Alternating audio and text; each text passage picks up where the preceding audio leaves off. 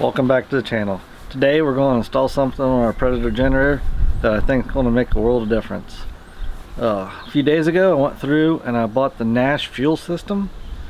And basically that's going to convert our predator generator to where it will run natural gas or propane.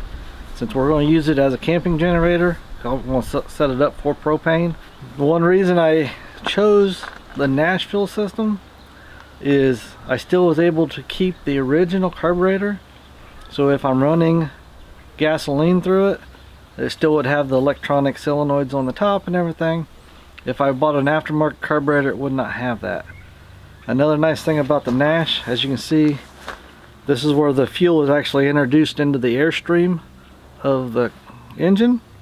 And you can see it's only a quarter of an inch. There's no real modifications that needs to happen inside the case.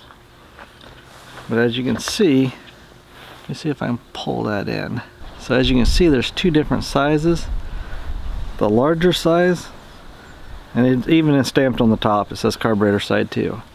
So this side will be facing the carburetor, this side will be your air box, and it just squeezes in between the two. So it just, basically all it does is offset your air box by a quarter of an inch. That's the only real modification that's done to this motor. The other part of this setup is the Garretson low pressure regulator. How this actually works, when a vacuum is produced here, it actually pulls on the vacuum, which pulls on a lever and allows the, the propane to come up and out of here. The good thing about this is if your motor would ever stop running, the vacuum goes away and the propane seals up.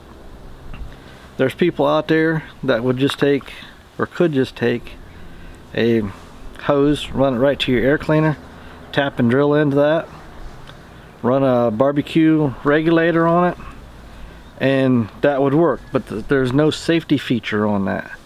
So what happens on, on that scenario there is if the motor for some reason would stop, your gas will still keep building up. That's not a good situation to just have gas running unabated.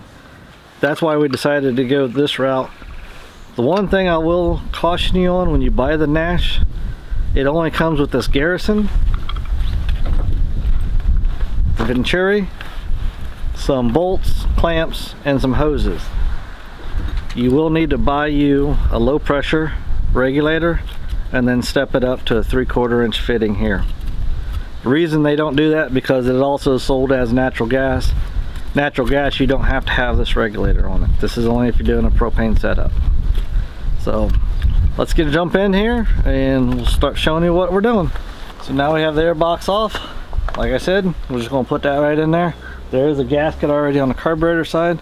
We'll just bunt the air box up to this and put it all back together. So before you install the spacer, you actually need to take these, because we're adding a quarter of an inch to this, you actually need to take a pair of pliers or something and screw, unscrew these studs out about a quarter of an inch so you can get your same nuts put back on there. So it'll actually go like that and then the air box will go on the outside before I do that, what I'm going to do is I'm going to drill a small hole here. So what's going to happen is my fuel line is going to come out here. I'm going to run it underneath here. I'm going to bring it out right here. I'm going to run it right up to here. And it'll just attach right here or sit right up in here. And then when I get ready to run it, I'll just pull it because it'll be on quick disconnects. I'll just plug it in and it'll be ready to go. So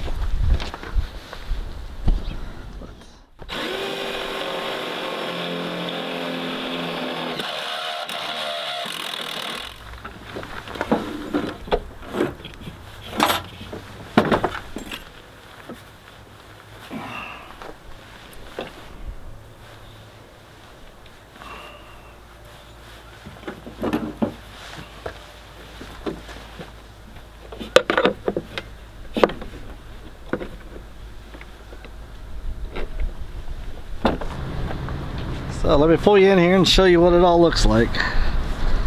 So this is the generator side. As you can see, it's pretty pretty easy. Right there's the adapter plate. Runs into the fuel line.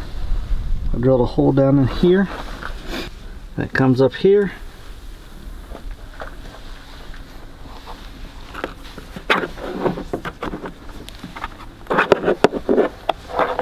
I'll take that, clip it onto onto my fuel line off of my regulator, and this thing should run. So let's get the regulator side done.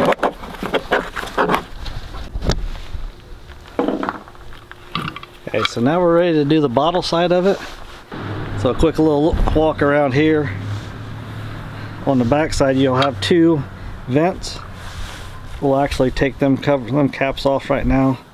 I will put the caps back on after we're done running just so nothing makes a nest in here or anything. Right here is your prime button. So we'll do that when we get ready to start it. We'll prime it for a couple seconds and then we'll hit the start button. So pretty straightforward, just like putting a or putting your grill on the bottle.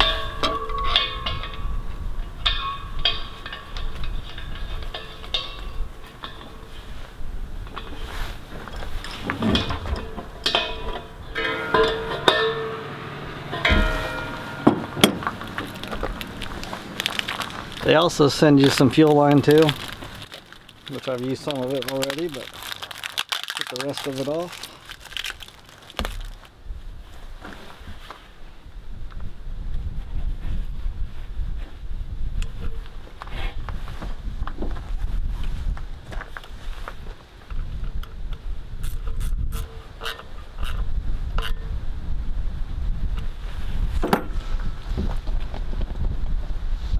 See, I put a quick disconnect on the bottle side and I put a quick disconnect on the motor side. Reason I did that was I don't want anything coming in here making a nest. And if we just had an open side,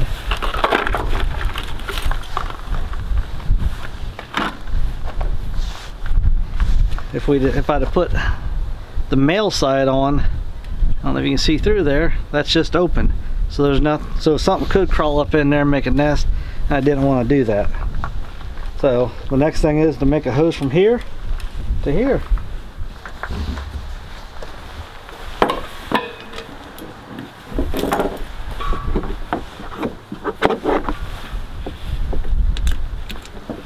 Okay, now that we've got it all set up, did go through, make sure all your fittings are tight, take soapy water, make sure you have no leaks. So then what we're going to do is turn on the tank. Well, I hear gas, that's a good thing when I push that.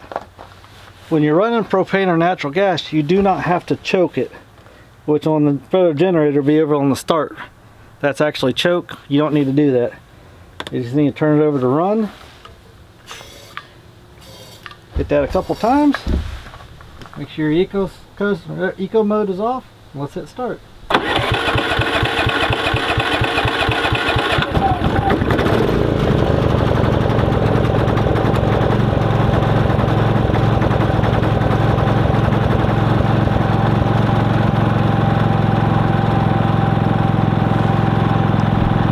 Do once you get started. Just turn that screw in until it starts to stumble. And we back it back out until it stumbles and then we just mark it in the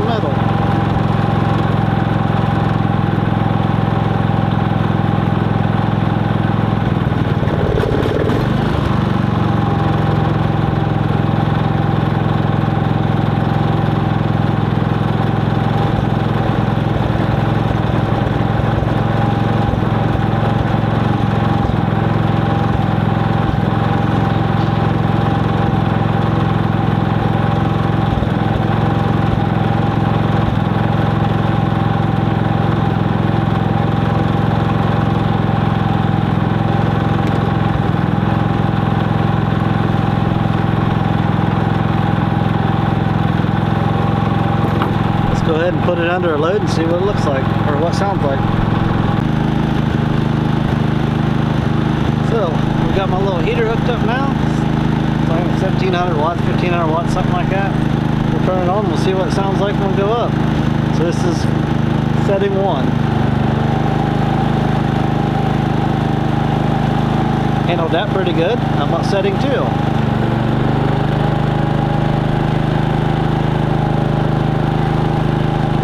Didn't hardly make a sound on that changeover.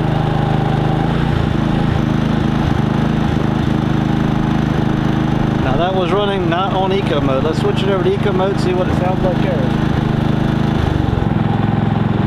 Eco mode's down a little. So let's turn up one.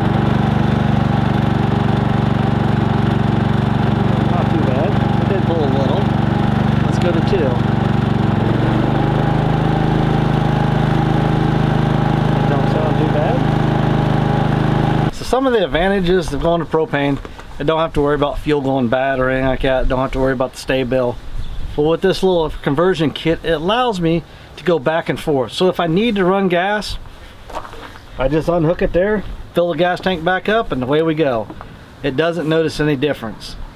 If I want to run propane, you've seen how easy it is. I just clip it on the clip in my hoses, and away we go that way. I don't have it set up. We don't have natural gas here, so there's no reason for me to even uh, attempt to do the natural gas. Probably what I'll end up doing is on the front of my camper, I'll run a tap off on that because this generator lives in the bed of our truck. And so when we're out boondocking or whatever, I can plug it in right there. There's two important things to note on this. One, the propane will not produce the same amount of wattage as the gasoline does because it's the difference in the BTU between the gas and the propane. You're only talking, you know, 100, 200 watts at max wide open. To me, I, I can deal with that. The other thing that you can really notice on this is the smell. You don't smell the gas, you don't get the nauseous fumes or anything like that. Also, running propane should help with the life of the plugs. So that's the end of this Predator update. I do have a contractor style generator that I've had for many years. I will be doing a complete carburation change on that simply because the gas tank is rusted. Instead of messing around trying to put a new fuel tank on it, I bought the carburetor for that one for like $26 off of Amazon. And I'm just going to do a video on converting that one over to. This kit here was $130 on Amazon. And then I had right around $45 or so in extra parts and stuff. So give you an idea on this conversion. For under 200 bucks you'd be running propane and that's even setting up the drop on my camper. Hopefully this inspired you guys to maybe look at alternative fuel for your generator too. If if you're like us and you only use your generator every now and then this is a very wise choice. If you guys found this video informative please give it a thumbs up that way we know you guys like the content that we're sharing with you guys and hopefully see you guys on the next video. Thanks. Bye.